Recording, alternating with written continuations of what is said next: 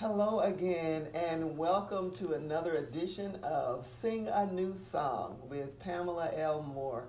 I'm so excited that you uh, decided to join us again um, this week, and we have something a little bit different today. Um, it's mainly been just me talking to you, but today I wanted to bring a different perspective.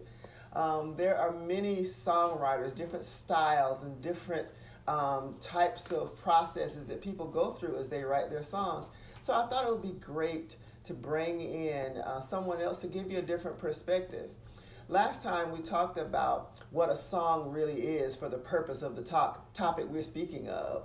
Uh, we talked about it being a combination of sounds and emotions uh, and words put to a melody that display uh, your posture towards God, how you feel about God, your thankfulness towards Him. I also want to bring in the point about it's also an opportunity for God to display His heart through you in song. So today I want to bring on two people that are very special to me. I have a special connection with them. Um, I hope you've heard of them. If you haven't, you will know them after today. They are the dynamic duo known as the Agape Music Group, John and Sequoya Howard. Welcome, John and Sequoya. Thank you so much for joining me today. This is exciting. I'm very excited. Wow. So we want to just let uh, my viewers know a little bit about who you are, and you can just tell them uh, what you're doing right now, what you have going on, and then we'll get into a little bit more about your process. Okay. Well, we are John and Sequoya Howard. We are the Agape Music Group. Um, we are husband and wife. We are. I am the daughter of this wonderful woman here, mm-hmm. um, and we um, we do music that um, that we believe is straight from the heart of God, that displays the heart of God. Um, I mean, agape is in our name, which means you know the God kind of love, that unconditional love. So um, yeah, some of you you can bop to, some of it just chill to. Uh, some of it uh, creates some very introspective thought, um, but it is all God centered, God focused, biblically sound. That's what we are. Wonderful. Wonderful. I mean, she pretty much covered it. Yeah. yeah. And I just want my viewers to know that there are some people who will disagree with me, but I am their number one fan. just let it be known. All right. So, what I want to talk about, John and Sequoya, you do um, uh, an, an, awesome job of collaborating together to bring your songs to life. Tell me a, bit, a little bit about your process for doing that. Well, our process is um, it, it varies from time to time. Um, yeah. Uh, most times, though, it's uh, Sequoya, you know, recording a voice memo, and she has a melody and uh, or a, a, a, she's beatboxing on the on the. Um, he won't put me on, on the track with my beatbox. a little salty about it. it, it it's coming. it's coming. Um, but and so she'll send me a voice memo of something that came to her throughout the day. Um, and, you know, I'll just add to it. Um, she'll send me like a skeleton of it, and I'll just add to it um, and, and kind of what I feel, what I hear in the song. And then a lot of times she'll come in as well and she'll add and say, oh no, go, go to this progression the chord progression or you know what about this rhythm type thing and so is that, and then and then sometimes it's me just creating, me sitting down and creating uh, something, and she comes and sits in the room, and she's like, you know, instantly inspired by it, and she'll just start start writing. But um, a lot of times our songs actually start through our devotional time. Um, through a scripture we may have read and we have a conversation about it, talk about how it has impacted us um, in the past or even presently. Um, and then sometimes we'll just write the song directly from scripture. That's a little free tip for you. Like, there's a lot, a lot. of lyrics Absolutely. right there yeah. in the Bible. Um, like our song Psalms 23, Chase Me Down, literally exactly. came directly from scripture. Mm-hmm. Um, but then, like our most recent song, Flow Like Water, uh, is based off of Amos chapter 5, verses 20, verses 23 through 24. Um, and that particular one is talking about there was a time period in Israel where there was a lot of injustice going on, a lot of oppression going on, but everybody was still bringing their sacrifices to God and making songs and acting like everything was still okay, having their festivals. And he came in, spoke through Amos, and God was like, Yeah, I'm tired of all that, tired of all those festivals, but let justice and righteousness flow like streams of water. Yeah. And we took that particular verse of scripture and uh, applied it to what we're seeing happen today in the um, in the social and racial injustices that are taking place. That's good. That's good. A couple of points I wanted to um, just talk about. You talked about a lot of times it just comes from your devotion, mm-hmm. um, not necessarily that you're sitting down to write a song. Yeah. But because of something you may have read or something mm-hmm. as a point of your discussion, comes that melody or you may not even get the melody right then. You might just get some words and they spark your interest and you go from there. Um, one of the things, too, that you said is that the scripture that you read in Amos was current. Mm-hmm. And that's what the Word of God is. It is a living, it is a living document yes. that does not just apply to our past; it applies to our present. Yep. And um, we were talking today, my husband and I were talking today about in Proverbs that in all of your getting, get understanding. Yeah. And understanding leads to wisdom. Mm-hmm. And so we're learning to apply those things that yeah. we gain the knowledge in. Absolutely. Yeah. Right. Yes. One thing I wanted to point out too um, is sometimes we will have had our devotion maybe in the room or in the kitchen or what have you. Mm-hmm. And um, we will have moved on with the rest of the day and he may go in and start playing a particular chord progression. Chord progressions like incite different thoughts mm-hmm. and memories and emotions. Um, so sometimes that'll quickly recall back a, a, scripture you know that that we had talked about you know maybe several weeks ago right. or what have you. Um, so yeah it just it just flows that way. God is good.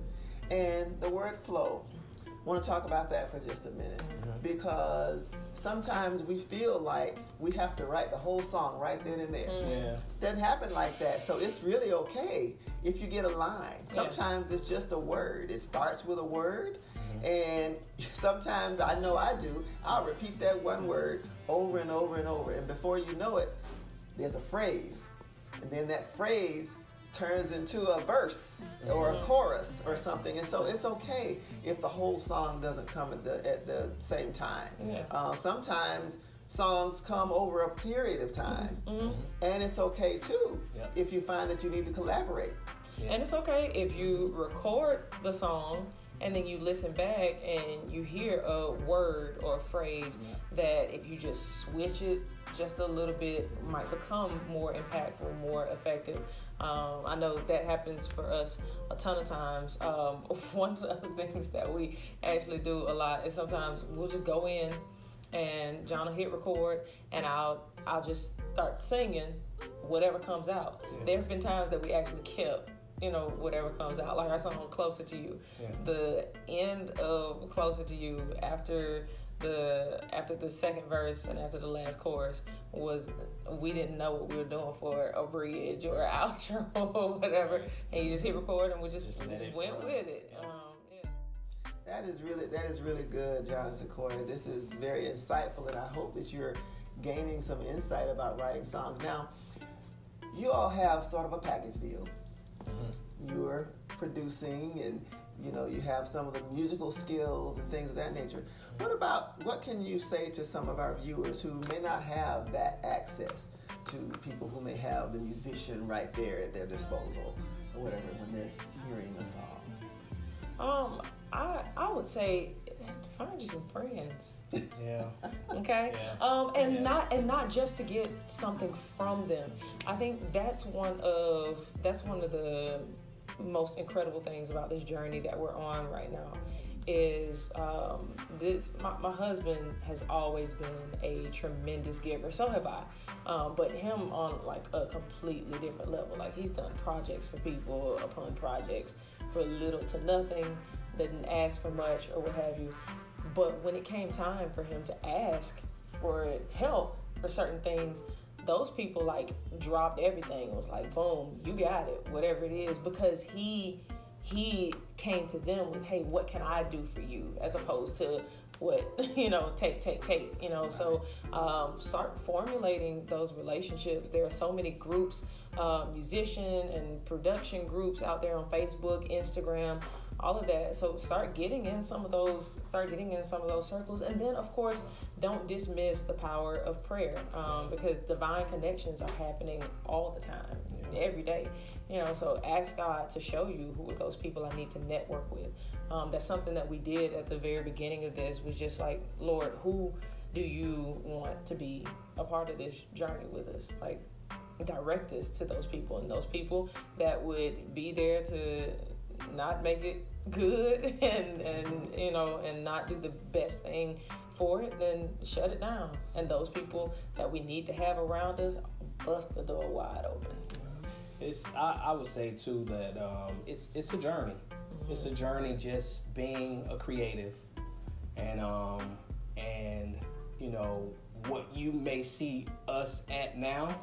It took us a while to get to this point and i'm and i'm saying to where mm-hmm. there was stuff stirring in us years ago right. and we were it was like we were waiting for the exact moment and the holy spirit was setting us up you know to get to the place where we were waiting we were diligent in our writings and mm-hmm. and, and and some stuff had to happen here and and yeah absolutely we had to had to some, some things in our heart um, as far as you know, just the willingness to do it, the drive to do it, the uh, the confidence to yeah. do it, um, and and not you know just building us up in our craft and honing our skills and those types of things.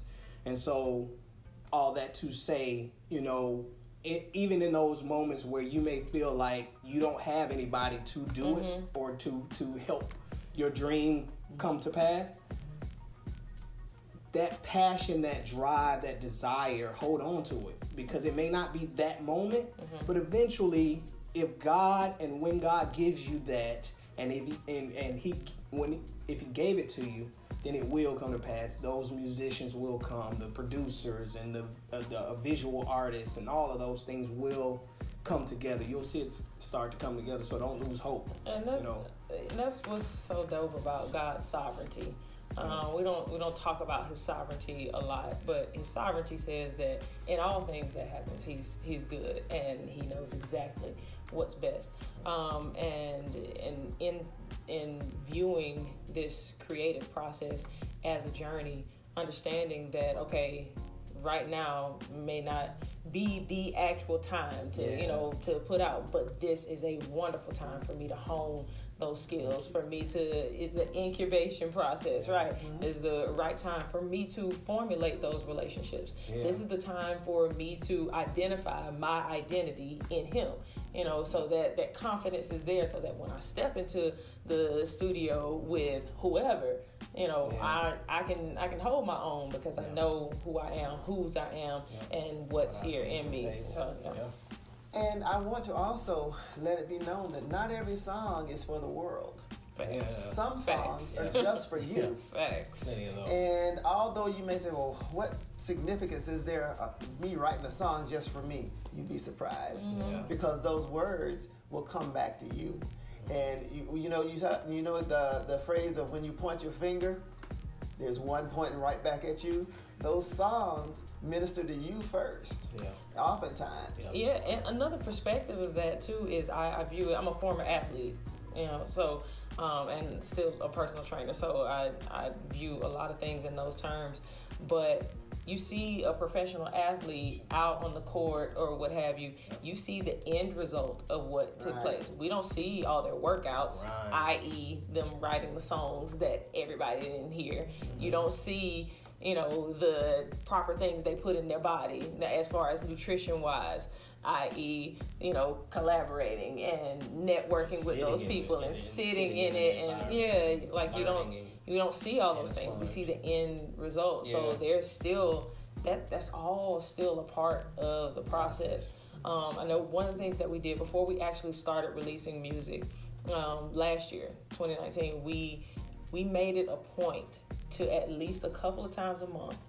do something musically Like, and and most of that stuff, nobody probably would ever hear like no. that. That'll just be in our catalog, you know. Mm-hmm. Um, but it was a part of the process so that when it came to this time to actually releasing and collaborating with other really amazing um, artists that we were we were ready for that because we were honing those skills. John was honing his production skills and learning a whole new language and mixing and mastering and you know so so yeah it's all it's all a part of it. It's all necessary it's, an, it's all necessary and your songs are necessary. Yes. And I think that's one of the main points of the reason I started this blog is because don't think that anything that God gives you is insignificant. Mm-hmm. Mm-hmm. It's needed somewhere in the earth. So if you sow it, the earth is going to receive what it needs. Yeah. Just like we, our body take in the the nutrients that it needs. Mm-hmm. It, discards what it doesn't need mm-hmm. and it mm-hmm. takes in what it does need. So that's the way I feel about the songs that we literally sow into the earth because they actually have the power and the authority yeah. to speak to things in the earth. Just like I think about your song, uh, Flow Like Water.